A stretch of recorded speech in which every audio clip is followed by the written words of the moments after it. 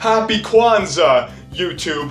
Uh, I'm not black, but uh, I-, I like to wear blackface in public because it makes me feel really progressive. You know, makes me uh, understand the plight. You know what I'm saying? Uh, anyway, I was thinking about Disney for some reason. I got the best idea on how we kill Mickey Mouse. How do we stop the fucking mouse from taking over Hollywood? Uh, I got a franchise idea that's so fresh and so big, not even Mickey Mouse could take over it. Okay, here it is Joey's World Tour Cinematic Universe. Yes, that Joey's World Tour. That beautiful Joey's World Tour. The channel I always switch to uh, when someone comes to my room while I'm watching porn, but then again, I realize I was fapping to Joey's World Tour the whole fucking time. Ha ha ha! Make Hollywood thick again. Joey is the Marlon Brando, Brad Pitt, Tom Cruise, uh, who who else is uh, who who else was popular? Um, Jack Black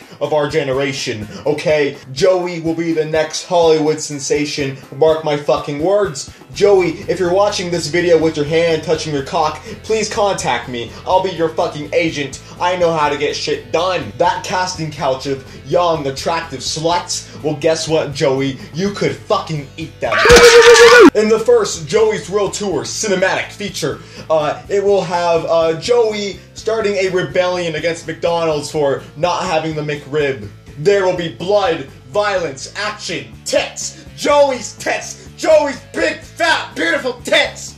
Now the second one would be a bit more Oscar baity, master baity. In this one, Joey's World Tour realizes he has an autistic brother, Review Brah, and they have to go across the country to find their inner peace. If Joey and Review Brah don't eat at every single McDonald's in the country, then their mother fucking dies.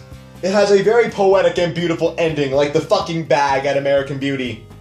Review Brah dies the peaceful death of drowning in Joey's jizz. Instant Oscar winner. I guarantee you a billion more sequels, a billion more epic wacky Reddit crips, and uh, yeah, success. We beat the fucking mouse. So if any big shot in Hollywood is watching this video, uh, please contact me and uh, save some of that prime pussy for me.